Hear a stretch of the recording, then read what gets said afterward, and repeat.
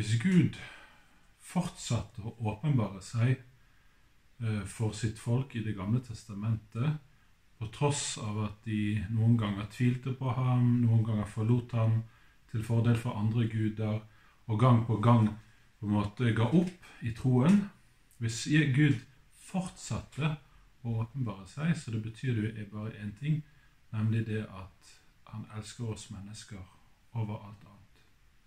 Og egentlig så peker alle de tingene som står i Det gamle testamentet, frem mot den viktigste åpenbaringen. Og det skjedde på en måte som eh, overgår alt annet. Gud ble selv menneske, Jesus Kristus. Det er fantastisk. Og Det er også den troen som gir oss styrke i hverdagen. Nettopp at Gud har elsket oss så høyt at han sendte sin enbårne sønn, sin egen sønn, til jorden for å åpenbare sin kjærlighet for oss mennesker.